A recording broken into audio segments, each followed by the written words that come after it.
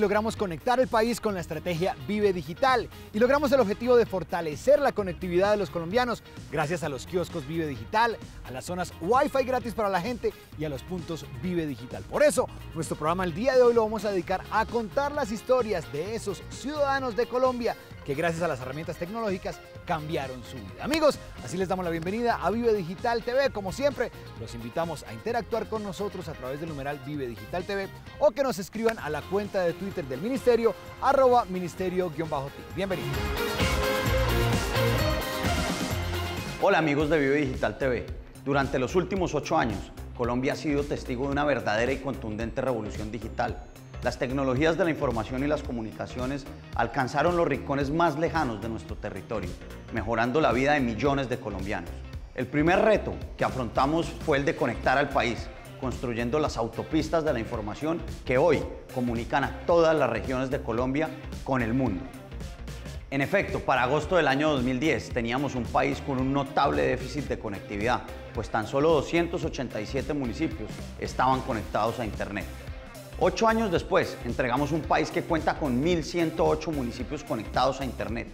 Es invaluable lo que esto significa para nuestra gente en términos de acceso a la sociedad de la información y a mejores oportunidades. El país pasó de tener en 2010 2.6 millones de conexiones de banda ancha a un total de 30 millones en la actualidad. Logramos 2.7 millones de suscripciones a Internet fijo en estratos 1 y 2. Encendimos más de 1.582 zonas Wi-Fi gratis para que cualquier colombiano se pueda conectar a Internet desde sus celulares, computadores o tabletas. Instalamos 7.142 kioscos y 910 puntos Vive Digital en todos los departamentos del país para que tanto las personas en las zonas rurales como en las zonas urbanas tengan espacios de acceso a Internet y capacitación en TIC. Infraestructura que a partir de agosto de este año quedará en cabeza de las entidades territoriales y que esperamos sigan siendo prioridad para los gobiernos siguientes. Llevar Internet a todos los rincones de Colombia fue una tarea titánica, pero esto era solo un prerequisito para convertir a las TIC en un verdadero motor de desarrollo del país. Rodrigo Vargas Lazano es un líder indígena de la comunidad Chindoaché. Vino de la Sierra Nevada de Santa Marta a Némoga, un resguardo acá en el departamento de Cundinamarca. Él es docente y gracias al kiosco Vive Digital logró darle herramientas tecnológicas a los miembros de su comunidad para conservar sus tradiciones y apropiarse de las TIC.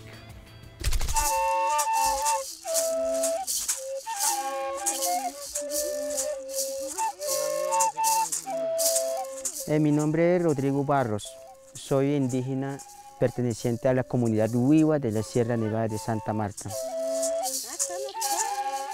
Eh, vine hasta Cundinamarca y vi una necesidad sobre la educación de la Sierra Nevada de Santa Marta.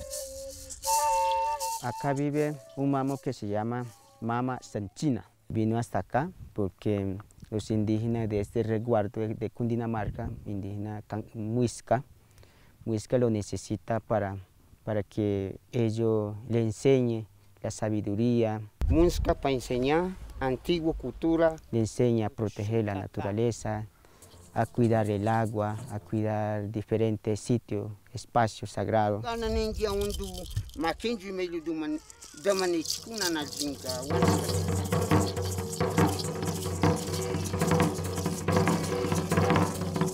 Para mí, el Internet es una persona muy sabia, igual que un mamo. Claro que está hecho por la humanidad, pero el Internet eh, sirve muchas cosas, investigar, buscar, organizar, enviar. El Internet tiene mucha facilidad, igual que un mamo sabio, porque sin ella nosotros prácticamente no podemos hacer nada, los estudiantes, todos los estudiantes, pues hoy en día la tecnología sirve muchísimo para nosotros.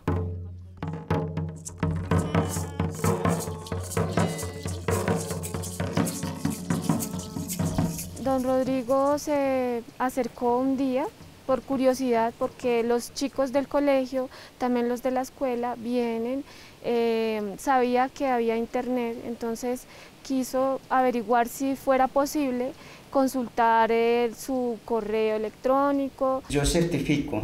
Cómo podría descargar algunos archivos sobre lo que él trabaja, lo que él estudia. Eh, principalmente el kiosco, el kiosco lo utilizo para, para mis estudios, para investigar muchas tareas, también para investigar diferentes espacios en donde realizamos pagamento, eh, rituales. Entonces en internet están montados esos documentales.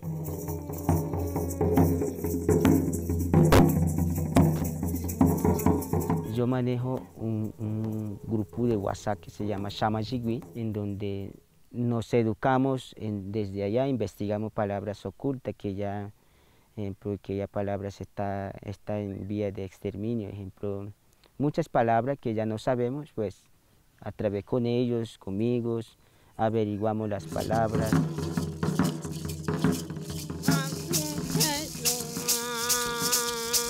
Yo me comunico a través de WhatsApp con gente que se encuentra en la troncal de la Sierra Nevada de Santa Marta, especialmente municipio de Dibuya. El kiosco me sirve mucho cuando se me acaba datos, pues entonces me ubico allí, comparto mi wifi para poder comunicarme con ellos.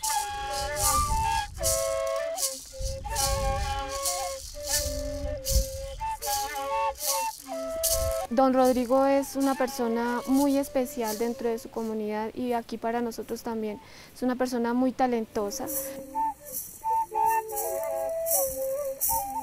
todos los días está pensando en cómo llegar más lejos, ¿no? Eh, eh, no solamente para su comunidad, sino también con nosotros, ¿no? demostrarnos a nosotros que ellos existen y mostrarnos de qué manera ellos nos pueden ayudar y nos pueden servir.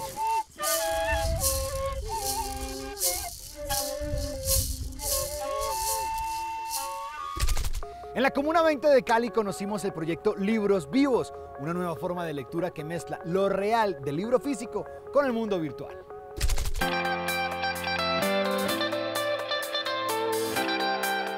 En conjunto con los compañeros administradores de los puntos Vida Digital de la zona ladera de Cali, iniciamos un proyecto que se llama Libros Vivos. Es un aplicativo que quiere fortalecer la lectura en las bibliotecas de la ciudad de Cali. Eh, las bibliotecas, eh, dentro de las bibliotecas están los puntos vía digital. Entonces lo que queremos es fortalecer esa parte del libro físico para que los niños eh, se enamoren más de la lectura y poder utilizar las nuevas tecnologías enfocado a los libros físicos que hay en las bibliotecas. Mi labor en este proyecto es el desarrollo, el desarrollo móvil. Eh, yo soy el ingeniero pues, en, este grupo. Eh, mi función es eh, desarrollar toda la aplicación móvil, apoyar la, creación de los contenidos multimedia, de la realidad aumentada, de las imágenes, los videos que se van a exponer en todos los libros. Tú enfocas ese libro físico y va a tener una interacción con realidad aumentada, que es uno de los pilares. El otro pilar es audiolibros, donde enfocas la carátula o una de las páginas de ese libro y te enlaza a una plataforma eh, para que escuches ese relato o esa historia de ese libro. y el otro pilar, el tercero, es, es libros recomendados, donde el, el usuario enfoca esa carátula y va a ver un video donde el usuario anterior se leyó ese libro y te lo va a poder recomendar o te va a poder dar una historia eh, verídica de ese libro. El proyecto lo que hace es relacionar un libro, darle vida, eh, aplicarle un contenido para que el lector pueda familiarizarse y pueda captar la idea que tiene eh, el contenido. si tiene solamente un bloque de texto y utilizando el proyecto pueda observar de una manera interactiva el protagonista o el personaje, eh, sea una imaginación un poquito más atractiva para, para el usuario.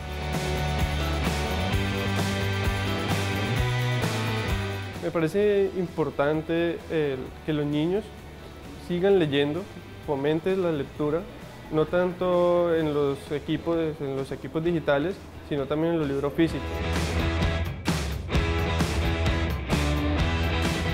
El fortalecimiento que nos da el, el Ministerio de las TIC es muy importante.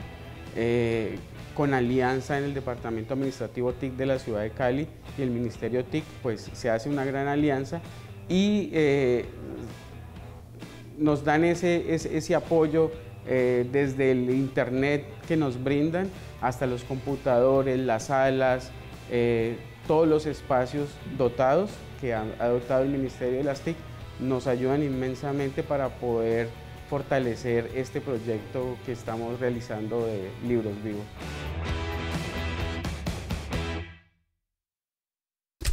Esta es una de esas historias que nos llena de orgullo, pues los ciudadanos siguen sacándole el máximo provecho a las zonas Wi-Fi gratis para la gente. Este es el caso de un grupo de jóvenes bumangueses quienes utilizan uno de estos puntos para transmitir a través de redes sociales su programa deportivo.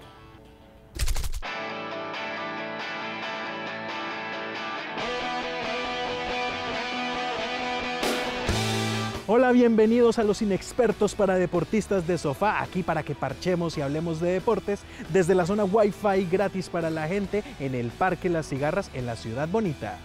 Nosotros hacíamos este programa en radio y tuvimos que dejar de hacerlo de manera formal ahí y vimos en internet la oportunidad de poder hacer el programa y poder llevar esto a nuestra gente, a la gente que nos seguía ahí inicialmente en la emisora y ahora vienen con nosotros en las redes sociales y buscamos la manera de poderlo hacer al menor costo posible. Y hoy arrancamos, me aprovechando esta tarde deliciosa de deportes para hablar apenas con la gente y vamos a ver, aprovechar aquí de una vez. Hola, hola, ¿cómo estás? ¿Cómo te va? ¿Nombre? mi nombre es Stephanie. Stephanie, ¿cómo estás? ¿Te gustan los deportes? Sí, sí me gusta. Bueno, pero ¿de practicarlos o de verlos solamente? De ambos.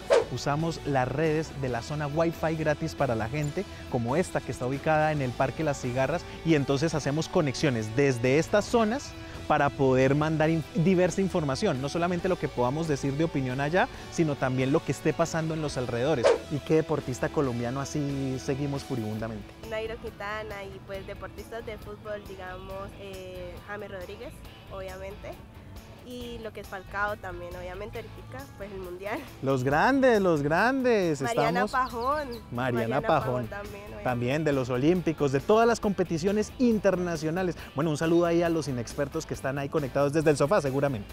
bueno, un saludo para todos.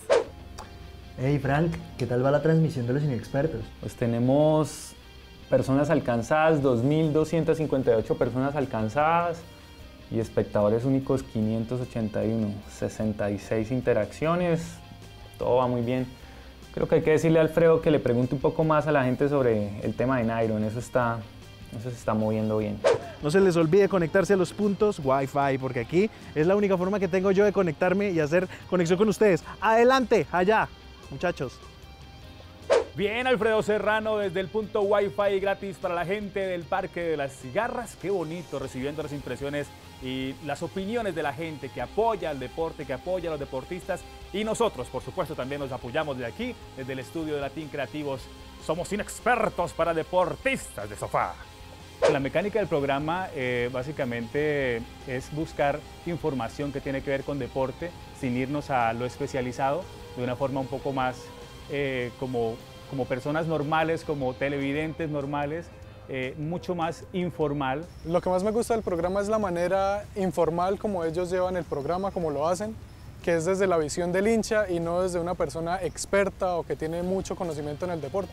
Y no olviden seguir a los inexpertos en sus redes sociales, en todas, Twitter, Facebook e Instagram, los inexpertos. Es muy fácil y aprovecho para saludar muy especialmente al programa Vive Digital TV del Mintic que está aquí haciendo un recorrido por la ciudad bonita, también dándonos a conocer eso tan importante que son las zonas Wi-Fi para la gente.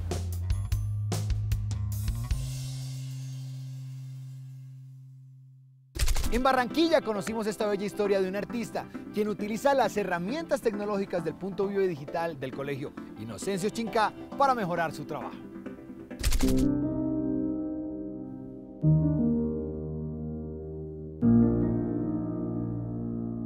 Mi nombre es Gabriel Torres, soy artista plástico, tengo aproximadamente de 15 a 20 años de estar elaborando obra pictórica. Inicialmente era netamente creativo, aquí solo en el taller elaboraba mis obras. Me di cuenta de que en el punto Vive Digital y con el empleo de los cursos que allá dictan podría mejorar la calidad.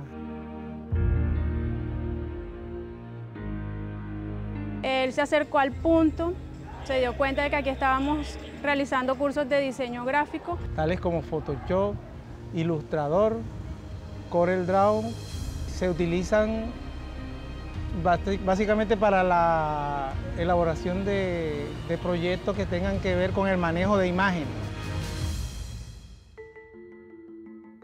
El proceso comienza con la elaboración de un trabajo, de un trabajo previo. Ahí llego al punto digital, elaboro mi, descargo imágenes, elaboro el diseño y luego imprimo y luego vengo acá y desarrollo mejor las ideas empleando la parte artística. Se me hace más fácil el trabajo y, ahí vamos desarrollando mejor las herramientas para ver en qué más la podemos emplear. Los profesores que vienen a dictar clases aquí en el punto Vida Digital son profesores del SENA con mucha experiencia, lo que garantiza que los estudiantes tengan una óptima preparación para sus desempeños. La importancia que tiene en utilizar todas estas herramientas es dar a conocer sus negocios, de qué forma creamos la creación de logos, flyers, folletos, afiches, todo para sus negocios. Estoy utilizando este punto digital para capacitarme para ser diseñador gráfico. Cada clase que damos aprendemos las herramientas, la, identificación de cada color. En el momento está haciendo el de Photoshop e Ilustrador y mm, me sirven para lo que yo estoy ejerciendo. Más que todo cuando la persona de pronto llega y quiere un cambio de look y dice, ay, pero es que yo no sé cómo voy a salir, cómo voy a quedar. Entonces, por medio de una foto, uno le hace los cambios y le dice, mira, aquí te puede quedar este corte así, este color así. Entonces ya la persona decide, bueno, sí o no hacerse el cambio. Bueno, los beneficios que tiene para la comunidad es que ha articulado con muchas organizaciones, fundaciones, padres de familia, estudiantes y personas que no tienen nada que hacer y vienen y aprovechan su tiempo para trabajar aquí y afianzar más conocimiento y hacer de manera gratuita, que totalmente gratuito, participar en este, en este lugar. En el Mintic la inclusión es una prioridad, por eso viajamos al departamento de La Guajira para conocer la historia de un grupo de adultos mayores quienes a través de un punto Vive Digital se capacitan en computadores y en Internet.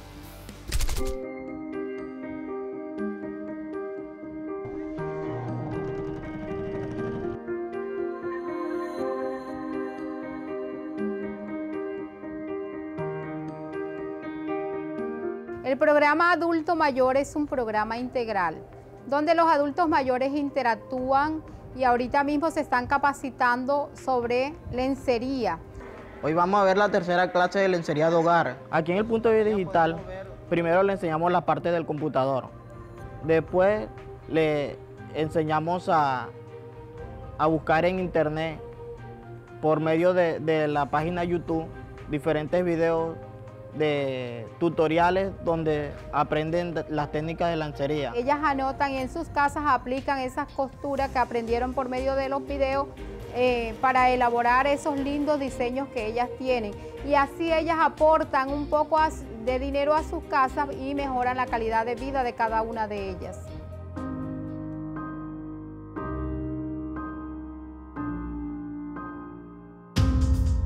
Allá en Punto Digital yo nunca había ido primera vez, pero me gustó mucho lo que estaban haciendo. Por ejemplo, los vestidos para los baños me gustaron demasiado y estoy ya dispuesta para irme ahora que dos horas a seguir aprendiendo ahí.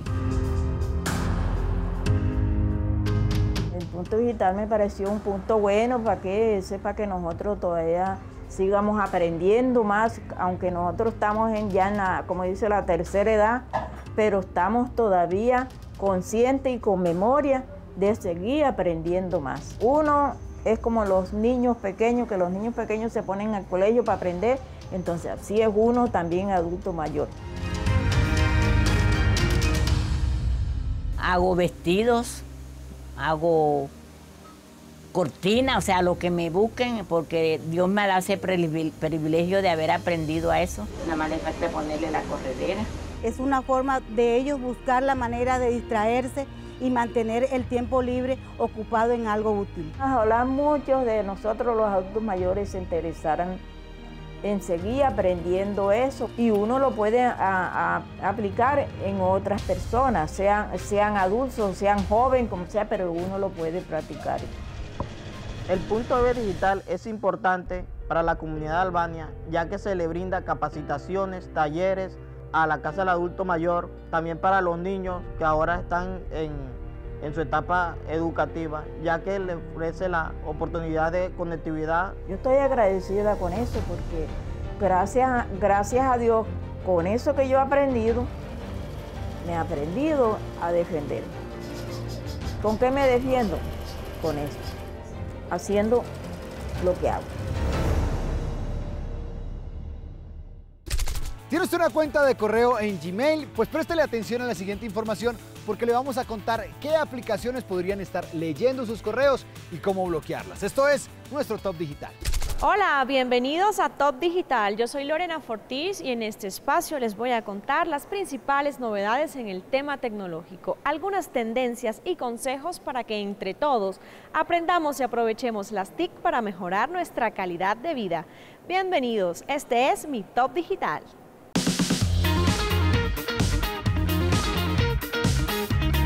Luego de saber que hay aplicaciones maliciosas que tienen acceso a tu correo de Gmail, aquí te decimos cómo descubrirlas y bloquearlas para que vuelva la seguridad a tu bandeja de entrada.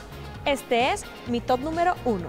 Para conocer las apps maliciosas que probablemente tengan acceso a tu correo de Gmail, debes ir a revisión de seguridad de Google. Una vez ahí podrás dirigirte a la opción Acceso de terceros, donde encontrarás una lista de aplicaciones y en cada una de ellas podrás encontrar lo que tiene permitido hacer. Y si lo deseas, podrás revocar el acceso.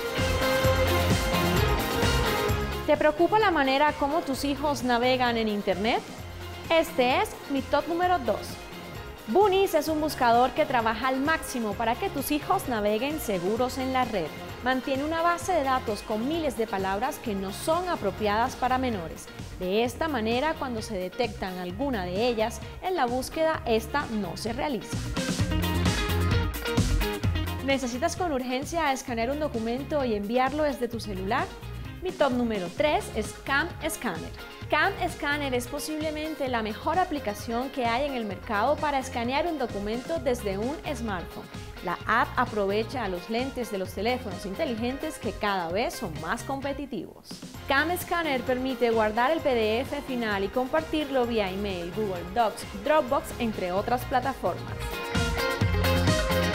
Y así me despido con las tres tendencias digitales de esta semana. Ustedes pueden interactuar conmigo a través de mis redes sociales, en Facebook e Instagram como Lorena Fortish y en Twitter como arroba T. Nos vemos la próxima semana. Las ciudades inteligentes son una realidad en el mundo y Colombia ya empezó a trazar su camino, pues con la implementación tecnológica mejorarán la movilidad, la seguridad y la sostenibilidad del territorio. Por eso quisimos salir a la calle y preguntarle a los colombianos qué tanto conocen y saben sobre ciudades inteligentes y esto fue lo que nos respondieron.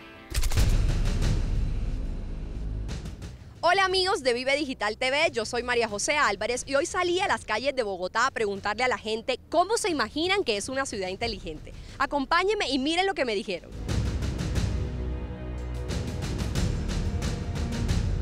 Johan, ¿cómo te imaginas que es una ciudad inteligente?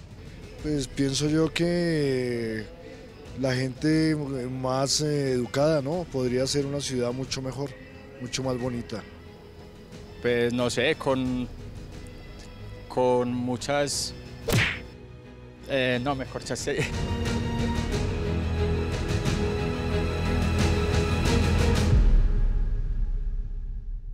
¿Ustedes me quieren decir cómo se imaginan una ciudad inteligente?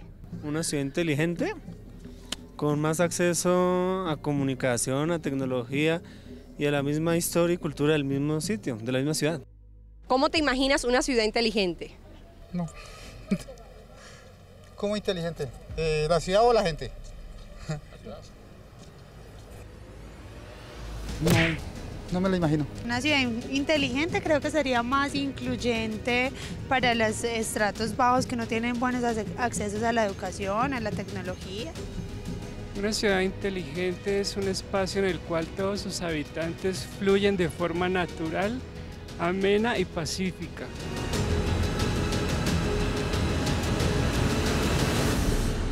¿Cómo te imaginas que es una ciudad inteligente? Pues la ciudad es, con, es buena.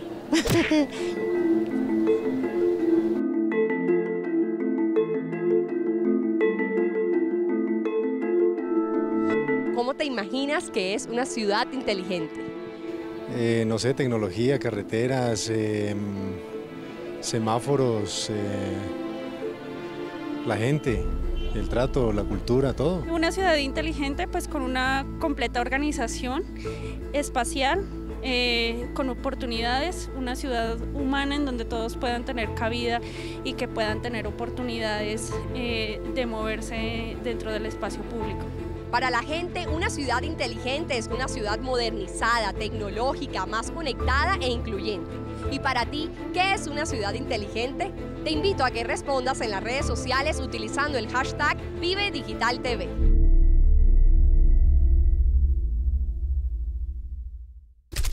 Ningún colombiano se está varando por internet porque lo estamos llevando a cientos de municipios a través de las zonas Wi-Fi gratis para la gente. Ya tenemos 1.582 zonas funcionando. Cumplimos con las mil que prometimos, así que no se gasten sus datos. Ingresen a www.wifigratis.gov.co para conocer su zona más cercana.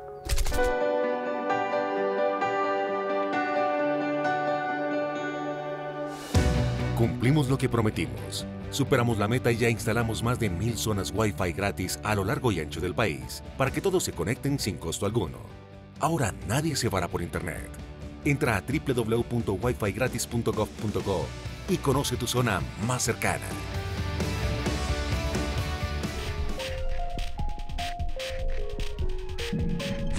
Así llegamos al final de nuestro programa el día de hoy. Recuerden que tenemos una cita el próximo domingo aquí en Vive Digital TV.